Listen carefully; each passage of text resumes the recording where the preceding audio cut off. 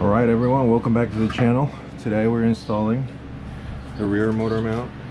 Haven't had to do this before because the electric focus mount that it came with worked fine but as of late i to say the last three to four months the engine's been um, moving a lot. You're doing like 10 to 15 miles an hour you let go of the gas a little bit and the whole engine just shakes a lot so we're doing this today. Uh, so what I'll do right now just put the car on the blocks right here. Once I have that up I'll walk through a little bit of a walkthrough. There's plenty of videos on how to do this. I even have one myself. I helped my buddy install his. Um, so yeah we're just gonna do that today see what the difference is. All right. One quick note I wanted to make about I'm assuming is this car in particular not just mine but anytime I have to jack up the front to get my tire either on blocks or just get under the car.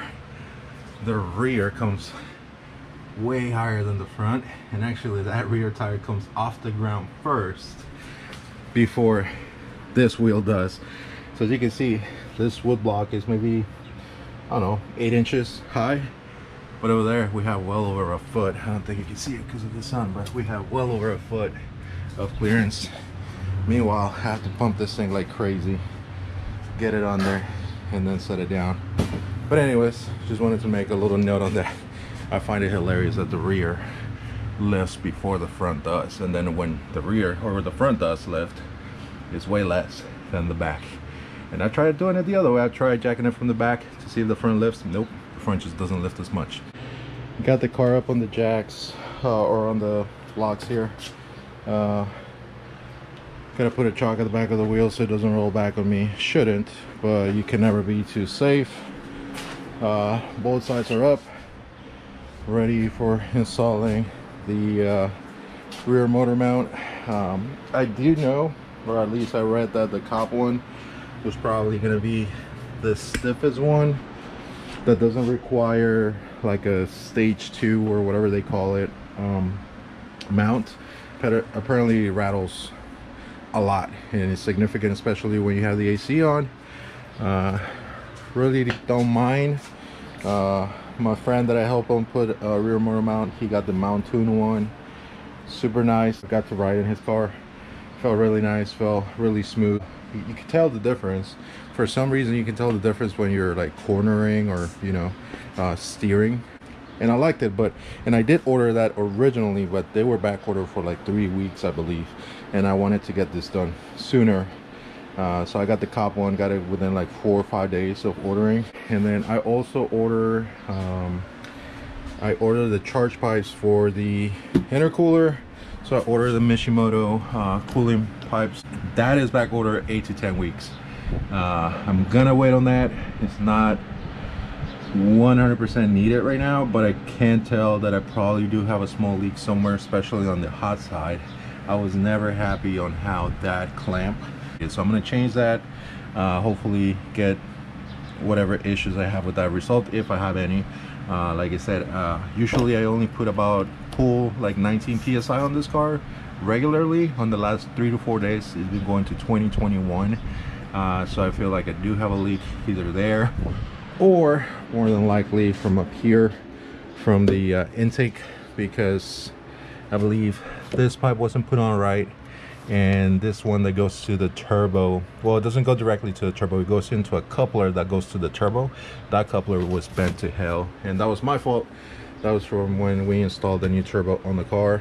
Um, so another thing i'm thinking about getting is the the Mishimoto intake as well for this car. Uh, CARB legal just like the charge pipes those are CARB legal so i live in california I try to keep it as legal as possible. I say that with a Burble tune installed in the car.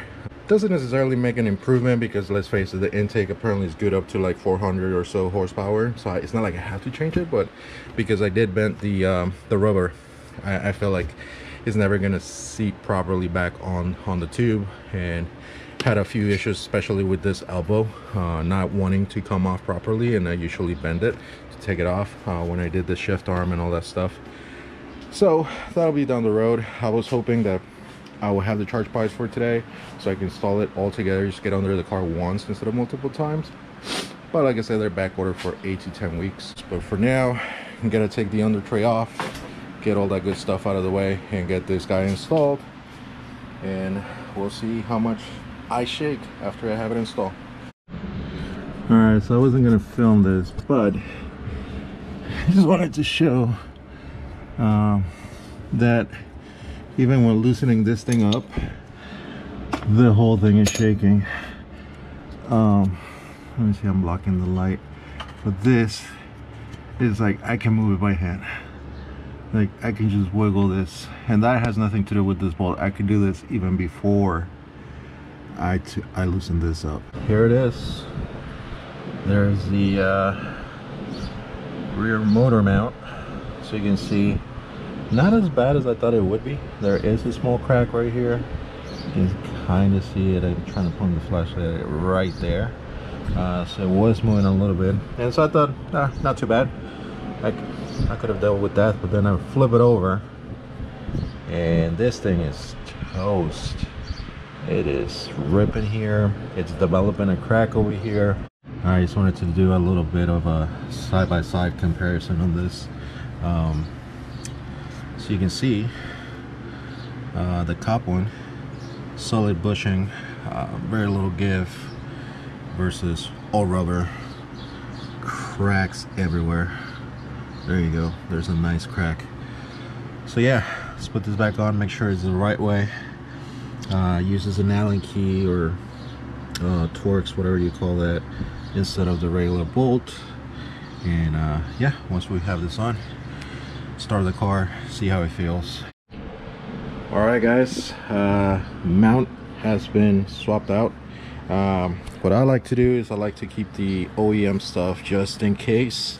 Uh, ever want to go back I have that option uh, with this one we're gonna do the same thing we're gonna put it in a nice safe spot so make sure that if we ever need it we can always get it back and uh, whatever the spot then on the trash because that thing is done. So you can see already started the car. I just wanted to make sure everything was uh, installed correctly and I didn't forget to tying anything down. Uh, she's making sure. I don't feel the difference.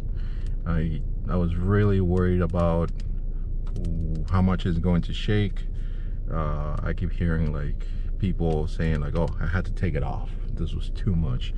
Uh, currently I have no AC on. Apparently that's when um, when that gets worst.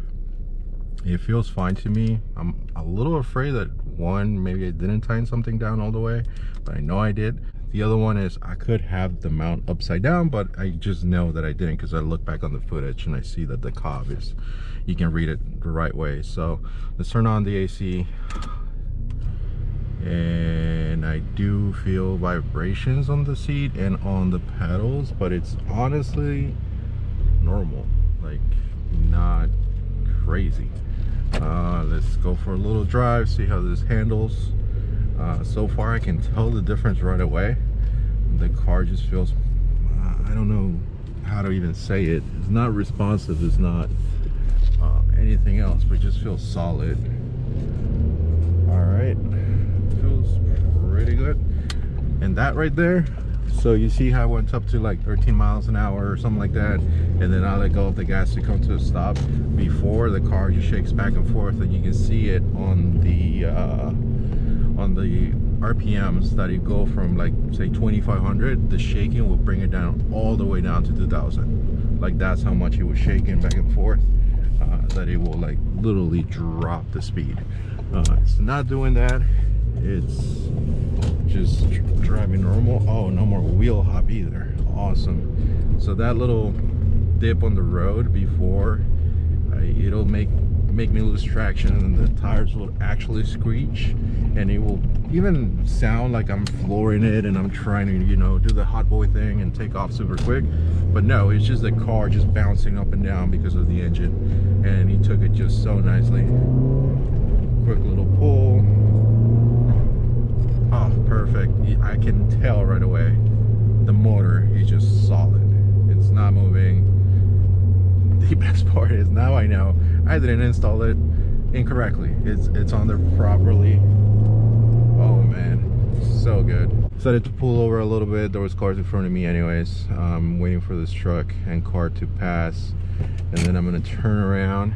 Uh that little s curve back there is perfect spot to see uh to make sure that the engine's not moving around. I know that the rear motor mount is mainly for like taking off from a dead stop but it also like i said earlier does make a difference in handling somehow Right, and I mean, it only makes sense since your engine now is pretty solid. So let's go check it out.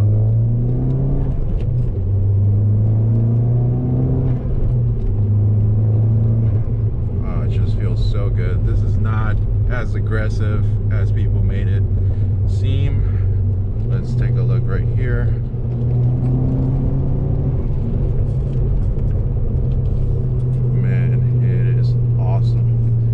I am super satisfied with this, with, with how this handles, how it feels. This is perfect. I am happy I did it. It's not the cheapest part, uh, at least in, in, my point of view. This is kind of expensive for what it is.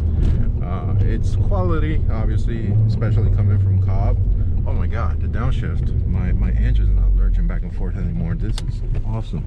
Uh, but as you can see by my reactions, I gotta stop and just like make a nice comment about this uh, I still think it's a little much for what it is.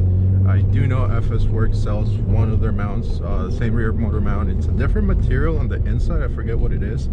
Uh, FSWERKS sells theirs for like a hundred bucks or under a hundred especially right now uh, with some deals they have going on. Uh, you can pick one of these up for under a hundred bucks. Uh, I would say go ahead and do it. The only reason I didn't do it from FSWERKS uh, I honestly, I don't even think I have a reason why I didn't do it. I just didn't think about it. I wanted the Mountune because I already had experience with it. Um, but yeah, you're thinking about getting this, definitely do it. It's worth the money. Uh, it's worth, uh, it's, it's not bad. Like, don't listen to those people saying like the rattling and I turn on the AC and it's, honestly, I don't know if I need to break this in. Like, it just feels good out of the box.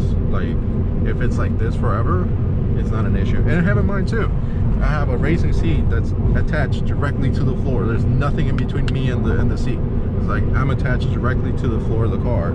So vibrations will go like crazy on my seat if that was the case. So I like it. It's it's perfect.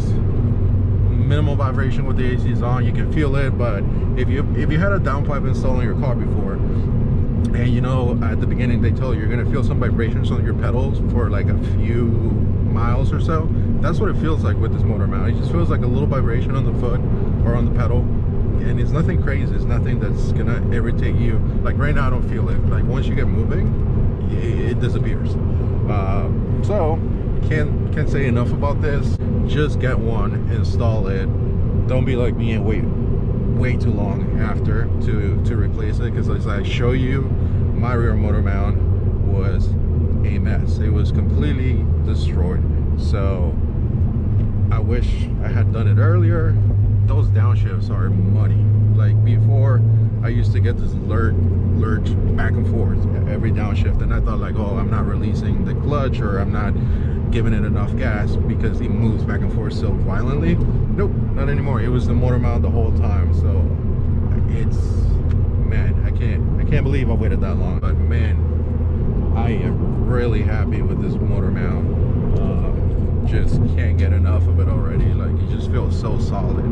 Uh, I'm gonna exit the freeway and I'm gonna do a quick pull to make sure that the wheel hop is gone and the torque steer, see how bad it is. Um, it's gonna be rolling. I'm not gonna fully stop because i can't stop on the street but uh, just a little quick test to see how he feels.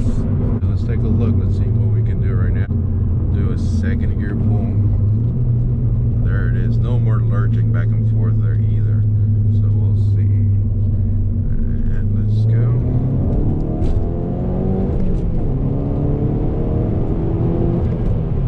No lift shift. Feels awesome no wheel hop, no uh, no torque steer either. Just I could have done that pull without my hands on the wheel, which I'm not gonna do, but I could have done that. Uh, feels awesome so yeah that's gonna be the video for today uh, like i said i'm gonna come back and install the lower brace as soon as i get the charge pipes for the intercooler i'm gonna make sure to actually i'm gonna go straight here i'm gonna make sure that that i have those on as soon as i get them i'm really really excited for those. Uh, the the pipe looks awesome and the quality of the hoses and all that stuff. So uh, yeah that'll be the video for today. Make sure to subscribe like the video. I'm trying to get to a thousand subscribers so go ahead and subscribe. Uh, there's got a few more things coming up for the car uh, a few more places where i want to take the car and uh, yeah so we'll see you on the next one